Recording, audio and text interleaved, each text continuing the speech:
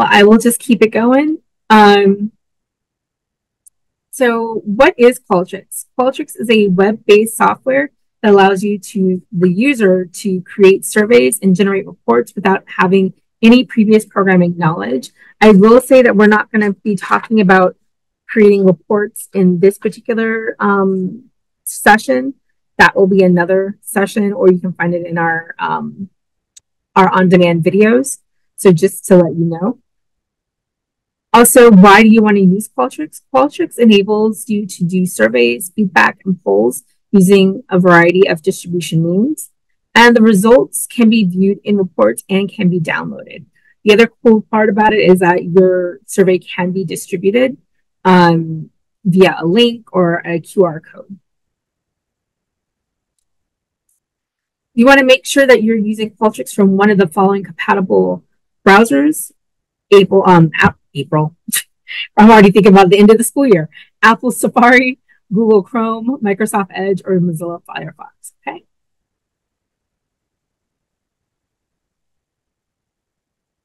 So I'm going to change screens right now. So let me stop sharing.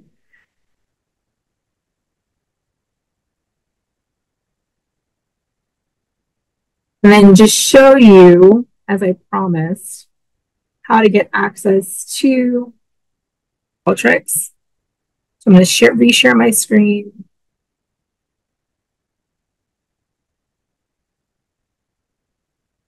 I get a thumbs up from somebody? You can share my, that you can see my screen. Awesome. Thank you, Matt.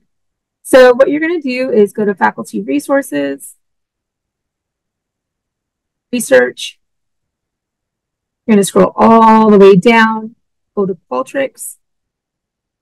And then here you find the on-demand videos and materials.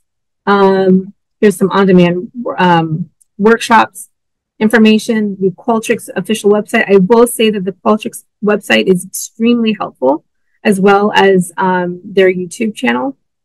But for us, what we're going to do is we're, where can I use Qualtrics on campus? What you're going to do is you're going to click right here.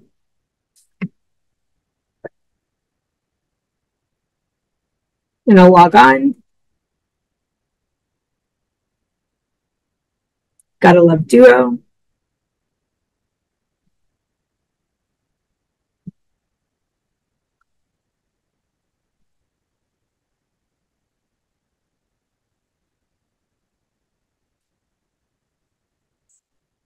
Okay, so right now what we're going to do is we are going to create a new survey. So you're going to click on create a new project.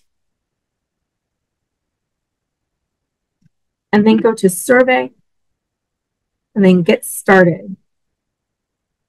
You're going to title this, um, let's title it survey, or actually, let's going to title it test three because I already have a test one, test two, test three, or test one, test two, and a regular test. We're going to title it test three.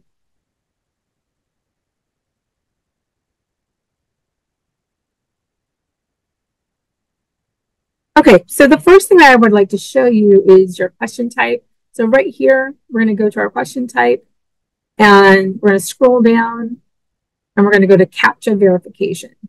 So as we can see here, it actually tells you what CAPTCHA verification is.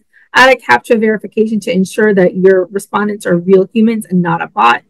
So right here, you can type in a new, um, you can type in like below to indicate that you are a human.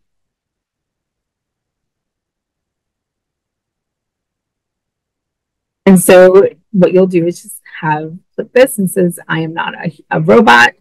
And for when once you're once you're able to publish your survey. Okay. Does anybody have any questions about CAPTCHA? Fantastic. So one of my favorites is text entry. So what we're going to do is we're going to add a new question.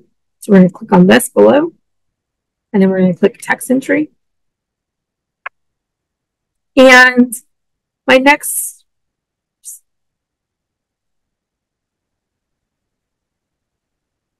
my next question is How old are you?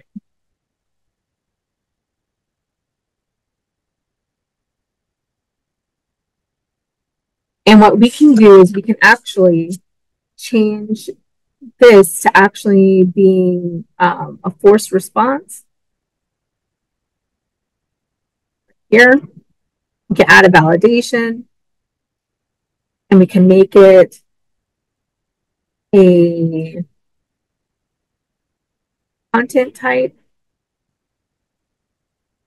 So number. Let's say that we want the minimum number to be 18 years old, and then maximum, we'll say 100. And that will apply to question two. Does anybody have any questions so far?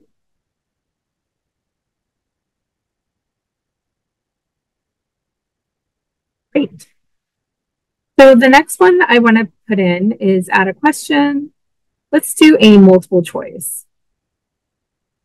So we have two options of doing multiple choice. We can do this, and I'm going to scroll back up. We can either do allow one answer or allow multiple answers, and I'll show you both what they both look like. So I'm going to type in what is your favorite animal?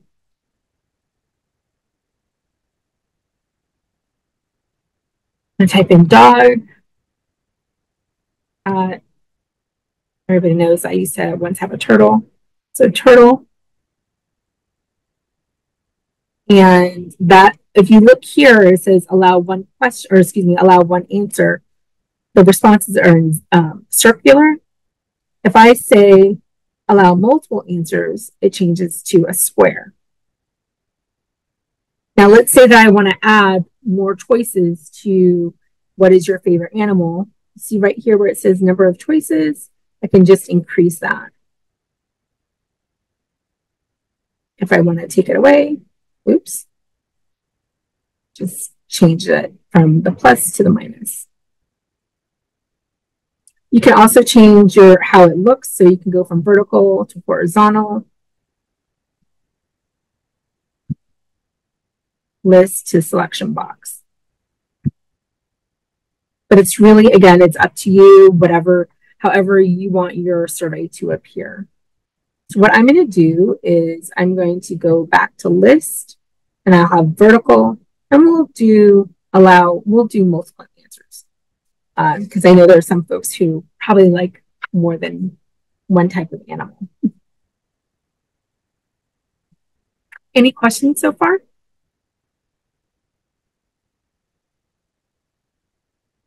Fantastic. So I'm going to click on the new add new question.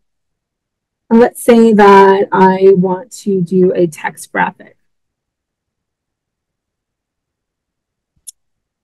So I what I can do is here I can actually break it up, um, break up what your the first box or excuse me the first um, questions maybe maybe you want this to be the introduction maybe you want it to to the to the questions. So let's say this is the introduction to your study. And let's say you just forgot to put this in right? Like your irb or what have you. What you can do is you can actually move this up all the way up just drag it all the way up and put it here right before your captcha. That's fine. What you can also do is hit add block add new question, text entry, introduction to block two.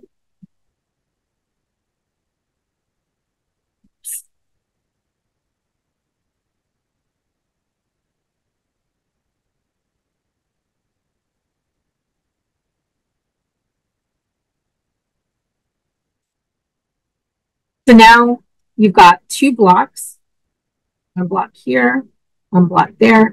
I will tell you now where it says default question block, and then where it says block one, that will not appear on your survey. It just helps you to separate um, your questions out. So if you click this, the down caret, if you push it up and then you click here, it just separates your questions for you. And ironically, it also tells you how many questions are in each block as well. Okay.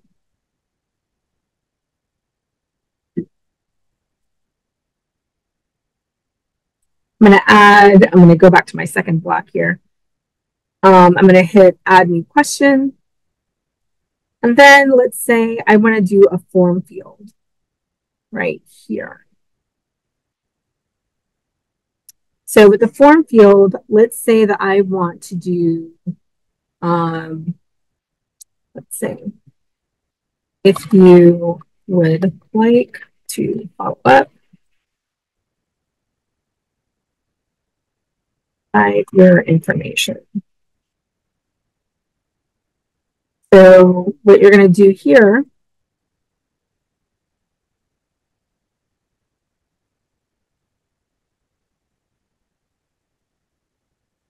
name, email, oops, email.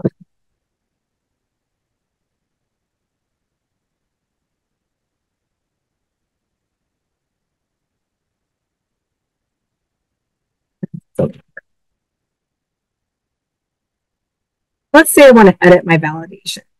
Okay. So we've got my name, email, and phone number, but I want to change what this looks like. So our names, let's say they're going to be long. And for the validation, we're going to have no validation. I always like to go long on the emails because people sometimes have long emails.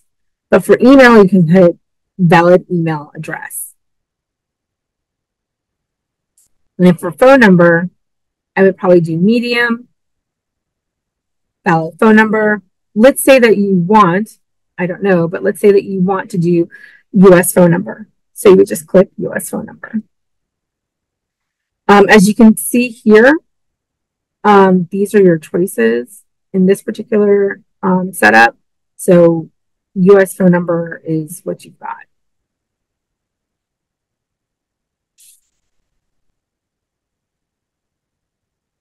So any questions about how I just did the form field?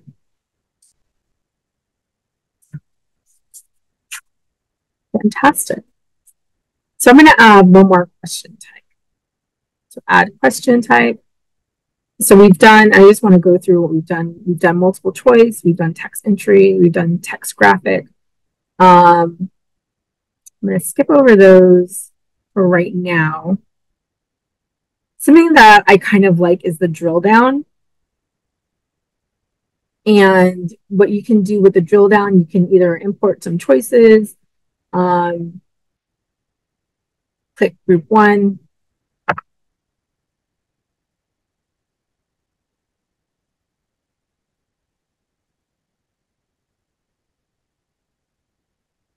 actually put in a question. Um, but color. I could spell favorite, that would be nice.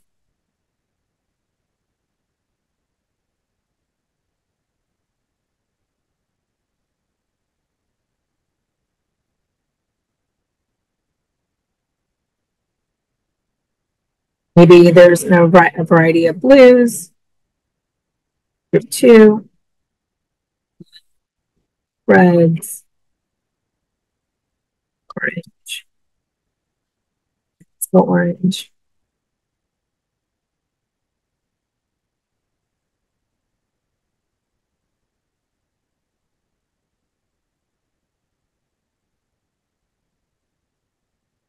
You always force a response here. What I'm going to do now is do publish, click publish. Now, personally, I do not pay attention to the expert review where it says great, they have recommendations. So you can take the recommendations or you can leave like leave it, take it or leave it. Um, sometimes I don't really pay that much attention to it. But publish, publish is like your save. And then I want to hit OK. And then let's preview our um, survey. So this is an introduction to your survey. How old are you? What is your favorite animal? Ah, now the reason, who can guess the reason why it came up this way? Anybody?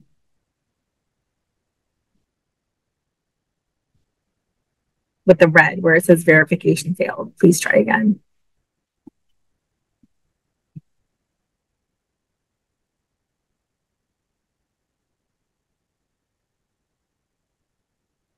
Well, it beca- it's because I didn't actually click on where the the captcha, and so now it says select squares with uh, motorcycle. So now I need to click on the motorcycle.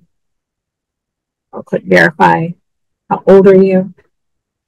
Actually be 40. I'm 44, so I'm not 45 yet. So I'm gonna hold on to that. I'm gonna say dog and turtle. Sorry, no offense to anybody who likes cats. And then I can put my name, email, and phone number. So I need to actually go back and probably do redo what I did here so I can actually do a drill down. But this question right here, it comes up as please answer this question because there's a verification on this. So again,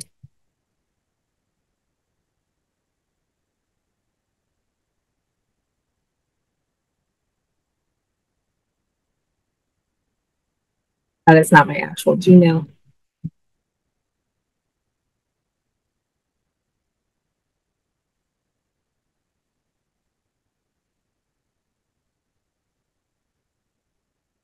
Sure why that happened.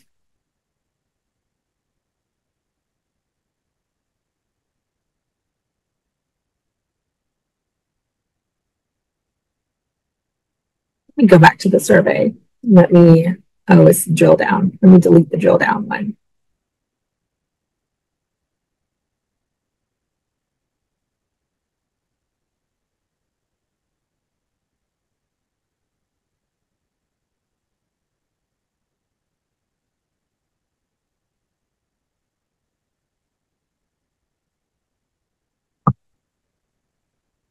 I'll give cat people a chance this time.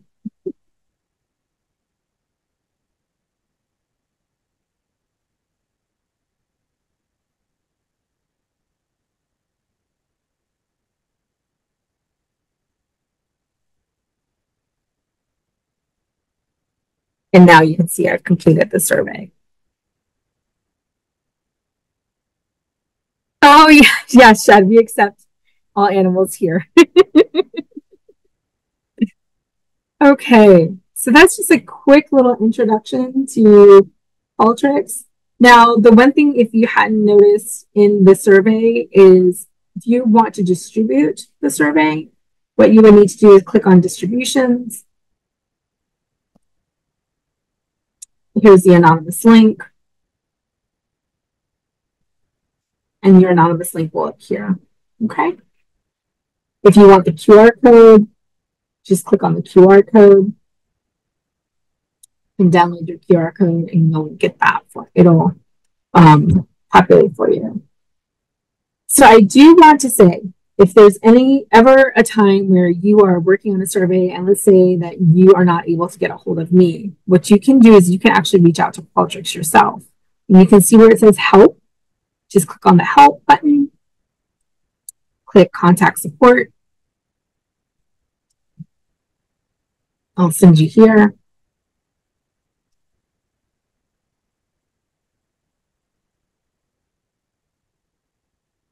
And then actually dismiss this. Click survey platform and XM directory. Click on that. And then where it says this, where it says, hello, I'm the Qualtrics AI assistant. What I tend to do is say customer service.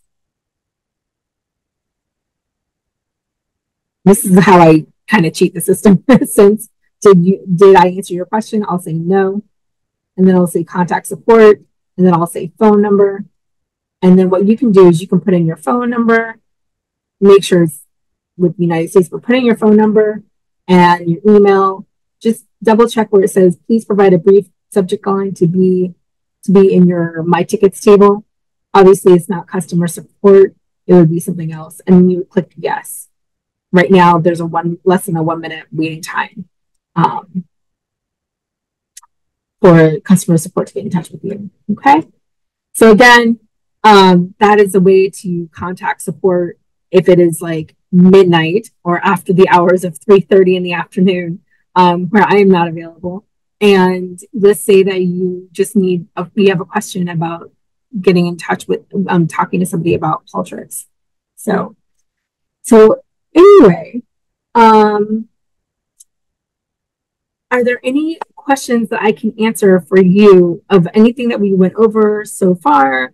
Um, there is an advanced Qualtrics um, workshop that, we're gonna, that I'm going to be doing that this semester that will happen this semester. Um, and we're going to be going over SSOs and we think SSOs, calendars, and embedded data. Can you integrate this into Canvas? You cannot integrate it into Canvas. Just a really good question. Unfortunately, you cannot integrate it into Canvas. That's a completely different, like the license, we, the type of license we have does not do that. Um, I did get a question about did can they use this with Salesforce because somebody's using it but was trying to use it with Salesforce. We do not have that type of license either.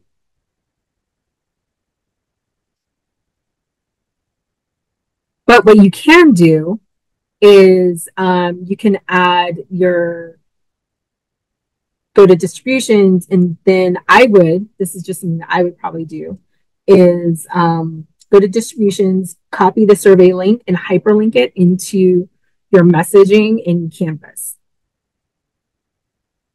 So that's a workaround. I hope that's helpful.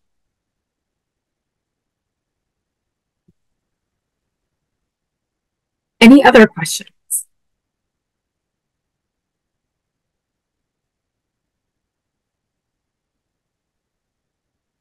Um,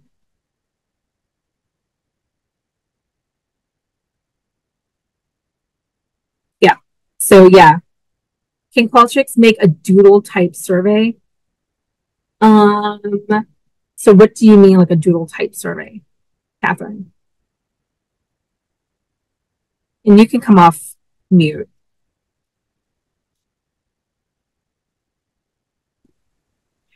So if you're trying to get a group of people together who don't have Outlook calendar and mm-hmm. agree on a date to meet, Doodle has a way of people can put a bunch of dates in and then the people like vote on which ones are available, not available, or if I have to. Okay. So I would probably use the matrix table to do that. Um, and then what you can do is you can change it to the number of statements. So you see how I've changed it to the number of statements. You can allow one answer, or allow multiple answers. Um, right now it's set to a number of scale points, which is two. So I can change that. Here, is that something that you're talking about? Like, yeah, is that something we're talking about? Well, I actually, it's so tiny on my screen. I can't. Oh, really... sure. Let me let me see if I can make it a little bit bigger. Okay, so would you would put like the various dates, like August 29th, right? p.m., August 29th, 3 p.m. And then, yep. So how, let's say you want to do 3 p.m. here, 4 p.m. Like if it was all 3 p.m., uh-huh. if it was all going to be 3 p.m. Um, for each date. Uh huh. Or you can do 4 p.m. for each date.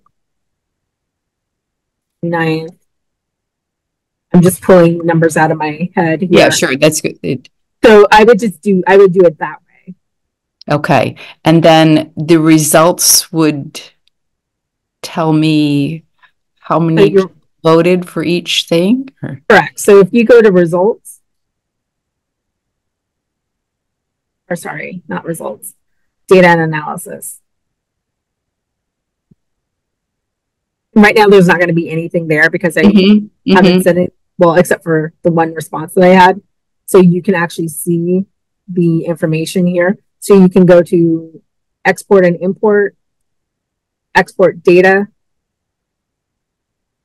I'm going to do CSV. So download may take a minute or not.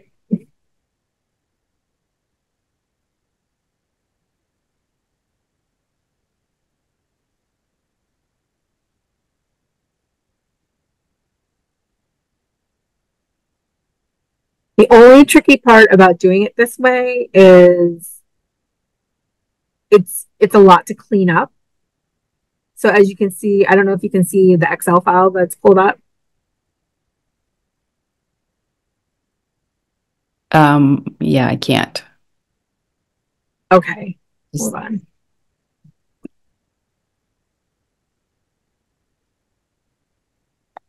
Give me a second.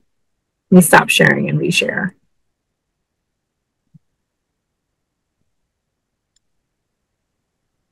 Okay, so it's it's kind of small, um, but it's it's a lot to clean up. Um, so you can see here that I said cat. Here's my name. What is your favorite animal? How old are you? Um, this one is if you like to follow up here, provide your email. So this is my email, and then this is my phone number. So it's just a lot of cleanup work on your end. Mhm. Um, but you can still pull the information by going to um, data and analysis. Okay, great. Thank you. You're welcome.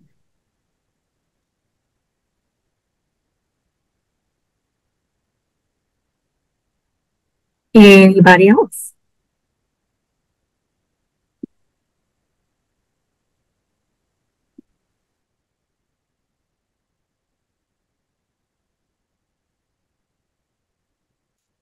So I know that, um, you know, like I said before, this isn't going, we're not talking about results or reports or data analysis, but I just want to reiterate that, um, you're not going to break, you're not, you can't break, um, Qualtrics, um, by any means. I, I know that Eric was in a session with me earlier when we were talking about research methods and he said that he's tried.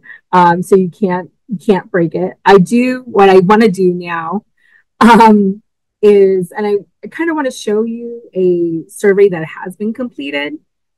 Um, and what that looks like. So this is a study that I'm doing currently and we have our IRB demographic section, um, body changes in swimming, swimming frequency, menstruation history, photos, period in swimming, creative response. So this particular study talks about women who are swimming and um, their experiences while swimming.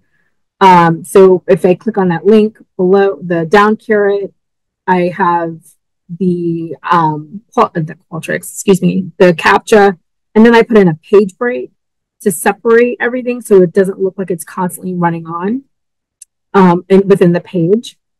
And then I have my IRB. And then I have giving of consent, which is a multiple choice um, right here. I'm just going to push this back up. My demographic information, again, a page break, and I can do a drop down, um, which is a, a, another choice. That's what actually what I was trying to do with the drill down, not drop down. Excuse me, earlier. Um, but that is a choice. This is a way you can also have it look um, in your multiple choice. Again, these questions are text entry. This question is multiple choice. And then in another um, in the on-demand videos, we actually talk about skip logic. So you can, in this particular survey, you can skip to the end of the survey.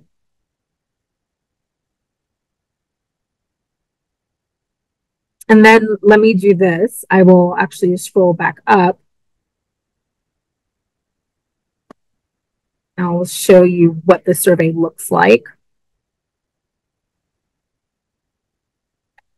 I don't want to click through it because it's an active uh, survey, but this is an this is what it looks like from I am not a robot from the CAPTCHA. Okay. Yeah. So but that's just an example of what a survey, a completed survey looks like that has IRB approval. Um, so let me get out of here. Does anybody have any additional questions? I'll stop sharing.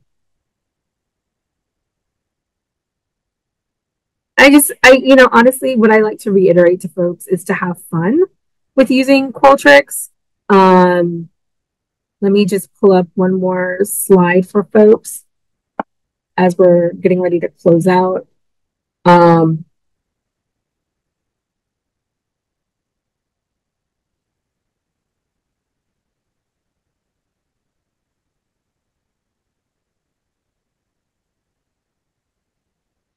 Sorry, my mouse all of a sudden stopped working.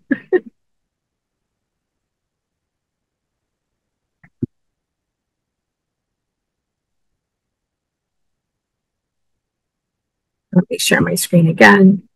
So these are some of the um, some of the recorded, previously recorded sessions on Qualtrics that we have, creating question types, skip logic and display logic, which we talked about earlier, how to distribute surveys, survey options, and how to download data, Qualtrics features to distribute surveys, research methods talk. Also, there's a way to collaborate. You can collaborate with other people on campus. So that makes it a little bit easier. Um, I will say if you're trying to collaborate with somebody outside of campus, it's not that it's difficult to do, but and it can be done. The problem is that you, if you're the owner of the survey, you can't, um, it's very difficult for the person outside of campus to make modifications to the survey. Okay. If you're interested in booking a consultation, here's the link right here. And then here's the QR code um, for you to book a consultation with me to discuss your survey and we can run through it.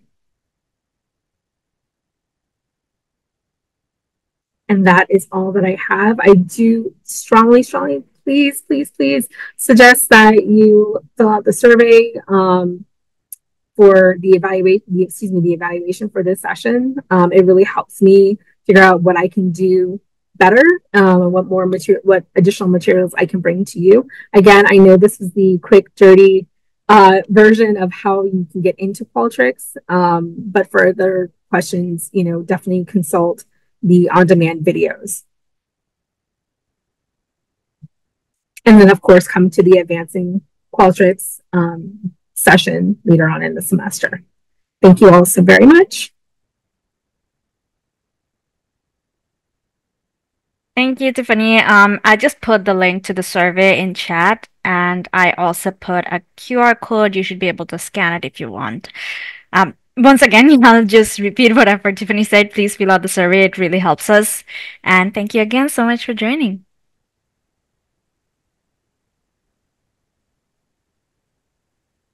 Thanks, everybody. Thanks, Mac. Thanks, Shed.